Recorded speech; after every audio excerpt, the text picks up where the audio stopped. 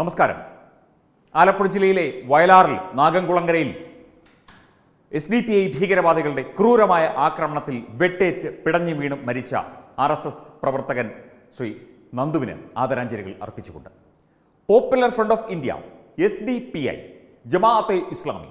ഇവിടെ ഭീകരവാദ സംഘടനകൾ ഇതൊക്കെ തന്നെ ഇവിടെ രാഷ്ട്രീയ പാർട്ടികളുടെ കൂറുപിടിച്ച് അവരുടെ കൂട്ടുപിടിച്ച് കോൺഗ്രസിന്റെയും സി പി എമ്മിന്റെയും തണലിൽ നിഴലിൽ നിന്ന് പ്രവർത്തിക്കുകയാണ് എന്നുള്ള കാര്യം ഇതിനു മുൻപും പലകുറി റിപ്പോർട്ട് ചെയ്യപ്പെട്ടിട്ടുണ്ട്. ഇവിടെ കേന്ദ്ര ഏജൻസികൾ ഉൾപ്പെടെ ഈ വിഷയങ്ങൾ ചൂണ്ടിക്കാട്ടിയിട്ടുണ്ട്. ഇവിടെ കേരളത്തിൽ ഒരു ഭീകര വിരുദ്ധ സ്ക്വാഡുണ്ട് എന്നാണ് പറയപ്പെടുന്നത്. ഈ ഭീകര വിരുദ്ധ സ്ക്വാഡ് എന്തിനാണ് ഇവിടെ പ്രവർത്തിക്കുന്നത്? ഈ ചോദ്യമാണ് ഉണ്ടാകുന്നത്. കഴിഞ്ഞ ദിവസം വിജയയാത്ര ഭാരതീയ ജനതാ പാർട്ടിയുടെ വിജയയാത്രയോടനുബന്ധിച്ച് ബി ജെ പി സംസ്ഥാന അധ്യക്ഷൻ ശ്രീ കെ സുരേന്ദ്രൻ ഒരു കാര്യം സൂചിപ്പിച്ചിരുന്നു.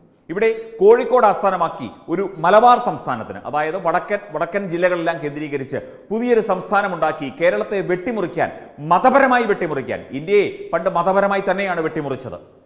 എന്നിട്ടാണ് സ്വാതന്ത്ര്യം നേടിയത്. മതപരമായി വെട്ടിമുറിച്ച് പാകിസ്ഥാനായി മുറിച്ചു കൊടുക്കുകയായിരുന്നു. അതുപോലെ കേരളത്തെയും മതപരമായി വെട്ടിമുറിച്ച് തീവ്രവാദത്തിന്റെ ആശയങ്ങളിലും പ്രവൃത്തികളിലും രാജ്യവിരുദ്ധ നടപടികളിലും ഊന്നി ഒരു സംസ്ഥാനം രൂപീകരിക്കാനുള്ള ഗൂഢശ്രമം ഇവിടെ നടക്കുന്നതായിട്ടാണ് ശ്രീ കെ സുരേന്ദ്രൻ ചൂണ്ടിക്കാട്ടിയത്. അദ്ദേഹം തന്നെ ഇപ്പോൾ ആവർത്തിച്ചിരിക്കുന്നു popular front of India S തുടങ്ങിയ സംഘടനകളെ അടിയന്തരമായി നിരോധിക്കണം. കേരളത്തിന്റെ വിവിധ ഭാഗങ്ങളിൽ ഇപ്പോൾ വടക്കൻ ജില്ലകൾ എന്നൊന്നുമില്ല ആലപ്പുഴ വടക്കൻ ജില്ലയല്ലല്ലോ. അങ്ങനെ വിവിധ ജില്ലകൾ തെക്കൻ മേഖലകളിലും വടക്കൻ മേഖലകളിലും മധ്യ മേഖലകളൊക്കെ കേന്ദ്രീകരിച്ച് വലിയ ഗൂഢസംഘങ്ങളായി ഈ തീവ്രവാദ ഗ്രൂപ്പുകൾ മാറിയിരിക്കുന്നു എന്നാണ് മനസ്സിലാകുന്നത്. ഇവരുടെ രാഷ്ട്രീയ പ്രസ്ഥാനം എന്ന് പറയുന്ന എസ് അത് രാഷ്ട്രീയ ജനാധിപത്യ പ്രസ്ഥാനമായി ഒരു മൂടുപടം ധരിച്ചുകൊണ്ട് അകത്ത് നാവിൽ നിന്ന് ചോരയിറ്റുന്ന ചോരക്കറമുണ്ട പല്ലുകളുമായി നിൽക്കുന്ന ഒരു ചെന്നായിയാണ് എന്നതിന്റെ സൂചനകളിലേക്കാണ് കാര്യങ്ങൾ എത്തിക്കൊണ്ടിരിക്കുന്നത്.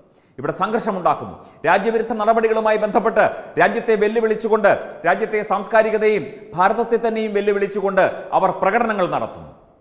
എന്നിട്ട് അതുമായി ബന്ധപ്പെട്ട് സംഘർഷമുണ്ടാക്കുന്നു. സംഘർഷത്തിൽ ദേശസ്നേഹികളെയും അതുപോലെ രാജ്യത്തിന് വേണ്ടി പ്രവർത്തിക്കുന്നവരെയും യുവാക്കളെയും പോലും വെട്ടുന്നു കൊല്ലുന്നു. ഇതാണ് ഇവിടെ നടക്കുന്നത്. നേരത്തെ സൂചിപ്പിച്ചതുപോലെ തന്നെ പോപ്പുലർ ഫ്രണ്ടിന്റെ പ്രവർത്തകർ മലയാളികളായ പ്രവർത്തകർ പന്തളം സ്വദേശിയും കോഴിക്കോട് സ്വദേശിയും ഉത്തർപ്രദേശിൽ ആയുധങ്ങളും സ്ഫോടക വസ്തുക്കളുമായി പിടിയിലായിരിക്കുന്നു. ഇന്ത്യയുടെ വിവിധ ഭാഗങ്ങളിൽ ആർ എസ് എസുകാരെയും ആർ എസ് എസ് നേതാക്കളെയും ഹൈന്ദവ സംഘടനാ നേതാക്കളെയും കൊല്ലാനും വിവിധയിടങ്ങളിൽ സ്ഫോടനം നടത്താനും പോപ്പുലർ ഫ്രണ്ട് ഓഫ് ഇന്ത്യയുടെ പദ്ധതിയായി പദ്ധതിയുടെ ഭാഗമായിട്ടാണ് ഇവർ പിടിയിലായത് എന്നാണ് U P special task force പറയുന്നത്. ഡൽഹി പോപ്പുലർ ഫ്രണ്ടിന്റെ ഓഫീസ് കേന്ദ്രീകരിച്ച് ഈ C A N R N R C വിരുദ്ധ സമരവുമായി ബന്ധപ്പെട്ട് കോടിക്കണക്കിന് രൂപയുടെ ഇടപാടുകളാണ് നടന്നത്.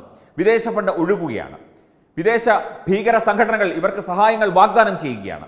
പോപ്പുലർ ഫ്രണ്ട് ഓഫ് ഇന്ത്യയുടെ പ്രവർത്തകർ തുർക്കിയിൽ പോയി സഹായം സ്വീകരിച്ച് തുർക്കിയുമായി തുർക്കിയിലെ ഭീകര സംഘടനകളും അവിടുത്തെ പ്രവർത്തകരും അവിടുത്തെ ഭീകര പ്രവർത്തകരുമായി ടൈപ്പ് ഉണ്ടാക്കുന്നു ധന ആഗമന മാർഗങ്ങൾ ഉണ്ടാക്കുന്നു ഇവിടെ ഇന്ത്യയെ തകർക്കാനുള്ള പദ്ധതികൾ തയ്യാറാക്കുന്നു. ഇതൊക്കെ അന്താരാഷ്ട്ര മാധ്യമങ്ങൾ റിപ്പോർട്ട് ചെയ്തതാണ്. ഇവിടെ പോപ്പുലർ ഫ്രണ്ട് ഓഫ് ഇന്ത്യയും എസ് ഡി പി എയും നിരോധിക്കണമെന്ന ആവശ്യം എത്രയോ കാലമായി ഉയരുന്നു.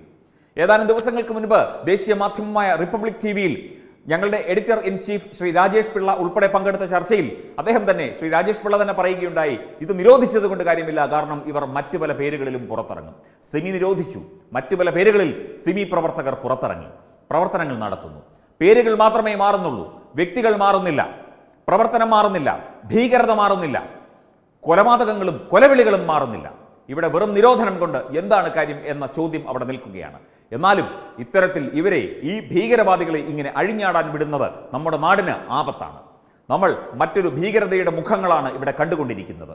ഇവിടെ ഇന്ത്യ മുഴുവൻ ആക്രമം അഴിച്ച് അക്രമങ്ങളും അതുപോലെ കൊലപാതക പരമ്പരകളും ആസൂത്രണം ചെയ്യുന്ന ഈ ഭീകരവാദ സംഘടനകളെ ശക്തമായി മൂക്കുകയറിട്ട് നിരോധിച്ച് ഒതുക്കിയിരുത്തേണ്ടത് ഇവിടെ ഇവിടെ നാട്ടിൽ സമാധാനത്തോടെ ജീവിക്കുന്ന സാധാരണക്കാരന്റെ ആവശ്യമായി മാറിയിരിക്കുന്നു.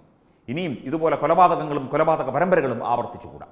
രാഷ്ട്രീയമായ പിന്തുണ സി പി എം കോൺഗ്രസ് എല്ലാം ഇവർക്ക് നൽകുന്നുണ്ട്. സി പി എമ്മും എസ് ഡി പി ഐയും പത്തനംതിട്ട ഉൾപ്പെടെയുള്ള മേഖലകളിൽ ഒരുമിച്ചാണ് ഭരണം നടത്തുന്നത്. കാരണം എസ് ഡി പി ഐ രാഷ്ട്രീയ പാർട്ടിയാണെന്നാണ് സി പി എം പറയുന്നത്. വെൽഫെയർ പാർട്ടിയുമായി ബന്ധപ്പെട്ട് കഴിഞ്ഞ ദിവസം അതുമായി ബന്ധപ്പെട്ട് ഒരു പഞ്ചായത്ത് അംഗം രാജിവെച്ച കഥയൊക്കെ നമുക്കറിയാം.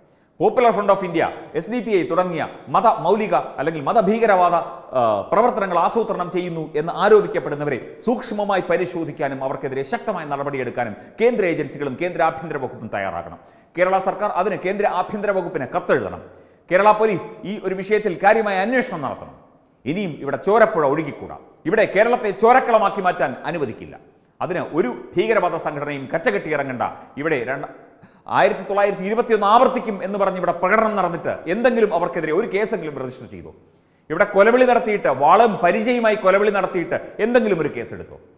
ഇവിടെ എന്തെങ്കിലും ഒരു നടപടി ഇത്തരക്കാർക്കെതിരെ ഉണ്ടായോ? അപ്പോൾ അതൊക്കെ അവർക്ക് വളമായി മാറുകയാണ്. അവർ വീണ്ടും വീണ്ടും വാളും വടിവാളും ബോംബും തോക്കുമായി രംഗത്തിറങ്ങുകയാണ് ആളുകളെ കൊല്ലാൻ മനുഷ്യന്റെ സമാധാന ജീവിതം ഇല്ലാതാക്കാൻ. ഇവരെയൊക്കെ നിരോധിക്കണം. ഇവരെയൊക്കെ ഇവിടെ നിന്ന് ഇല്ലായ്മ ചെയ്യണം. സമാധാനപരമായ ഒരു ജീവിതം ഇവിടെ സാധാരണക്കാർക്ക് ഉണ്ടാകണമെങ്കിൽ ഇത്തരത്തിലുള്ള ഭീകരവാദ സംഘടനകളൊക്കെ നിരോധിക്കപ്പെട്ടേ പറ്റൂ എന്ന് ആവർത്തിക്കുകയാണ്. ഇതുതന്നെയാണ് കഴിഞ്ഞ ദിവസവും ശ്രീ കെ സുരേന്ദ്രൻ അടക്കമുള്ളവർ പറഞ്ഞത്. ഇവരെയൊക്കെ പടിക്ക് പുറത്താക്കണം. ഇവരെയൊക്കെ നിരോധിക്കണം. ഇവരുടെ പ്രവർത്തനങ്ങൾ നിരീക്ഷിക്കണം. ഇവരുടെ ധനാഗമന മാർഗങ്ങൾ പരിശോധിക്കണം. ഇവരുടെ പ്രവൃത്തികളും ഇവരുടെ ചിന്തകളും ഇവരുടെ ഓഫീസുകളും നിരീക്ഷിക്കണം പരിശോധിക്കണം. ഇവർ ഇവിടെ മതഭീകരവാദത്തിന്റെ വിത്തുകൾ മുളച്ചിരിക്കുന്നു അവ പൊട്ടിമുളച്ചു തുടങ്ങിയിരിക്കുന്നു എന്ന ആശങ്കാജനകമായ അവസ്ഥയിലേക്കാണ് കാര്യങ്ങൾ എത്തിക്കൊണ്ടിരിക്കുന്നത്.